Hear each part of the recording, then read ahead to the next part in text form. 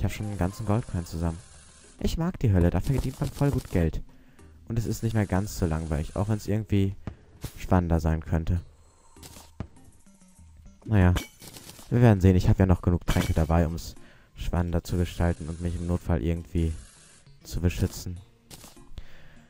Allerdings habe ich ja hier jetzt den Spiegel im Gegensatz zu meiner Singleplayer-Welt, wo ich den Spiegel irgendwie in der Hölle noch nicht hatte. War immer ziemlich angenehm. Ich konnte eigentlich gar nicht davon ausgehen, dass ich nochmal hochkomme. Ich muss eigentlich...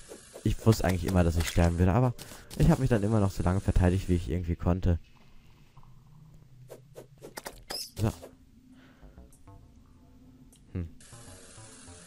Allerdings hatte ich mir da auch nicht so einen praktischen Fall, Freifallgang gebaut. Sonst wäre ich wahrscheinlich dadurch wieder hochgeklettert. Hätte zwar lange gedauert, aber ich sag mal, das war eine Singleplayer-Welt. Das stört keinen, wenn es lange dauert. Also außer mich und ich hätte es verkraftet. Ah, da komme ich dran. Sogar... Ach ja, ich vergaß. Ach, nee, das lasse ich dann doch sein. Komm, hier wieder zu, bauen. Ach, das sind Obsidian Bricks. Mhm, so sehen die also aus. Hm. Ich finde das... Also eigentlich... Man kann hier schon richtig schöne Sachen bauen. Ich habe da mal so ein paar Screenshots gesehen. Allein durch diese ganzen verschiedenen Farben. Ich sag mal, diese Bricks, die sind ja eigentlich das gleiche... Also, die kann man... Die haben ja eigentlich so viele Verwendungszwecke, die, wie die Minecraft-Wolle, aber... Naja. Die ist, ist halt ist halt auch teuer zu craften bei den meisten Materialien. Und maximale Leben. Mehr als 400 geht nicht. Und raus hier. Lass mich raus hier. Hau. So, dort ist wieder Obsidian, da kann ich drauf gehen. Bin ich auch dankbar für. Ich weiß auch gar nicht, warum ich die ganzen Vasen immer zerstöre. Ich meine, normalerweise geht man da immer runter in der Hoffnung, dass da ein... Hier, eine Schattentruhe ist. Aber ich kann die ja nicht öffnen. Ähm so, ich gehe wieder auf Tauchstation. Ich meine, hier muss doch irgendwo schon etwas mehr sein. Einfach in die nächste große Lavagrube stürze ich mich rein. So. Dort hinten ist vergleichsweise viel. Dort. Ähm, ist zwar immer noch wenig, aber ist es mehr als sonst. So. Dich weg. Dich weg. Einfach mal alles weghauen. Hier brauche ich auch noch keinen Gills-Pauschen, den werfe ich mir erst weiter unten ein. Irgendwie... So, hier ist dann allerdings mein Mikrofon ausgegangen. Zumindest wird einfach mein... Meine Stimme wurde nicht mehr aufgenommen, das ist jetzt gerade nachkommentiert. Und ich kann direkt schon mal so viel verraten. Jeden Moment bleibt auch das Bild stehen. Fragt mich nicht warum. Vielleicht hatte ich nicht mehr genug freien Speicher. Ja, Bild bleibt stehen. Spiel Spielzeit läuft erstaunlicherweise noch weiter. Äh, ich erzähle jetzt mal kurz noch ein bisschen, labe ich einfach über den leeren Bildschirm. Wen das nicht mehr interessiert, der kann jetzt ruhig ausschalten. Die Folge passiert jetzt nichts mehr, außer dieses Standbild hier. Ähm, ja, jetzt fehlt halt eine Folge, aber wenn ich mich recht erinnere, ist da auch nichts Großes passiert. Und ja, ich würde euch gern sagen, danach läuft alles wieder glatt, aber ich kann euch so viel verraten. Bei der nächsten Aufnahme fehlen auch die letzten 20 Minuten, weil die einfach nicht mehr aufgenommen wurden. Was habe ich dir getan, Camtasia? Egal, wir sehen uns morgen oder gleich. Keine Ahnung, wie viele Videos ihr jetzt noch schaut. Ciao.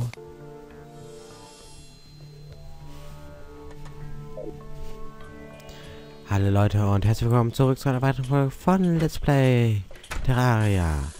Äh, ich beginne die Aufnahme hier übrigens mal kurz direkt mit einer ganz kleinen Umfrage, weil ich mir gedacht habe, ich fange damit lieber einmal an, bevor alle ausschalten. Nämlich, einige von euch kennen vielleicht sich mit Terraria aus und wissen, dass mir noch zwei vergleichsweise eigentlich Standard-Items fehlen. Die Cloud in a Bottle, die uns einen Doppelsprung ermöglicht und die ich weiß gar nicht, wie die Stiefel heißen, mit denen wir halt rennen können. Äh, ich könnte jetzt entweder mit einem Spelankas Potion in Höhlen gehen und einfach so viele Kisten suchen wie möglich, oder ich gehe einfach in meine Singleplayer-Welt und ercheat mir das Ganze dann. Ihr könnt jetzt entscheiden, was ich machen soll zur nächsten oder übernächsten Aufka Aufnahmesession müsste das dann online sein, da kann ich mir das dann angucken. Zum nächsten Punkt.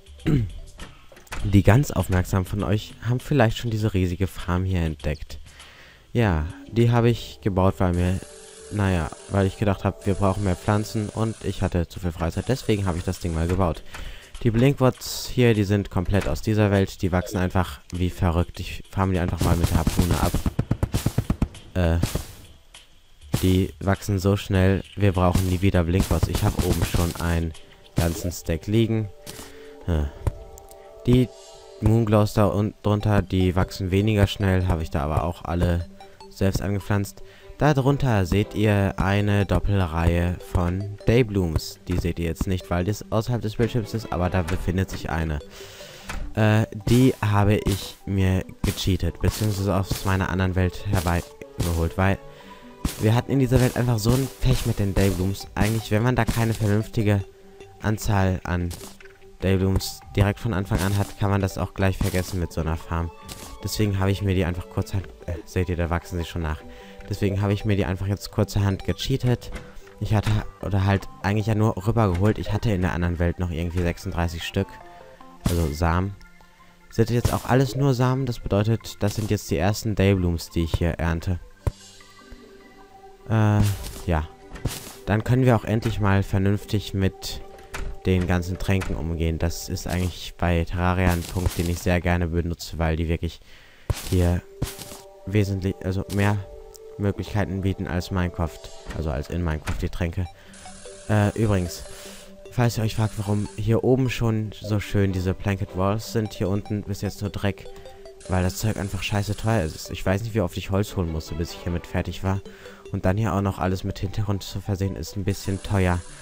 Außerdem muss ich, naja, um die Wand abzubauen, natürlich hier mit dem Ding da durchgehen. Und dabei mähe ich natürlich auch die ganzen Blumen ab. Deswegen sollte ich das erst machen, wenn ich genug Samen gesammelt habe. Hier kommt, hier baue ich später Deathweed an. Da besitze ich allerdings augenblicklich keine Samen. Die werden nur bei Blutmond gedroppt. Und weil ich jetzt nicht auf den Blutmond warten wollte, habe ich das einfach mal so gemacht. Hier wachsen Waterleaves. Vielleicht erkennt man die hier, die sind da unter Wasser. Die droppen nur dann Samen, wenn sie abgebaut werden, während sie unter Wasser sind. Deswegen steht hier auch das Ganze unter Wasser. Hier kommt dann später noch eine zweite Ebene hin, die ich auch noch unter Wasser setze. Hier haben wir Fire Blossoms, also die Lavablumen. Die droppen entsprechend nur was, wenn, also nur Samen, wenn sie unter Lava sitzen. Und weil ich bis jetzt keine Lust hatte zu verbrennen, ist da erstmal noch nichts. Ich meine, ich kann ja erstmal nur warten, bis sie ausgewachsen sind und vielleicht ein paar mehr Samen sammeln. Oh, ich sehe auch gerade, es wird schon Nacht. Vielleicht sollten wir uns dann auch mal in die... Also, na, zu dieser Nacht schaffen wir es jetzt nicht. Aber zur nächsten Nacht gucke ich mal, dass wir dann bewussten Blutmond erzeugen. Das geht mit dieser Water Candle. Die müssen wir aber dann leider natürlich erst holen.